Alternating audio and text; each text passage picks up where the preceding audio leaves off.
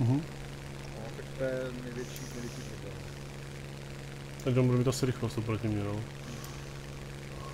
Ale on jako pokud, uh, že to hrál rozhodnout, ale to je podle mě pod tebou, ne? Jo, je. Čí to?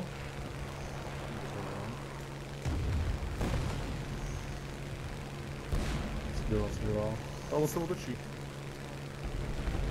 Kurva, na lidi tak to dostal, že na tebou otočí. Okay.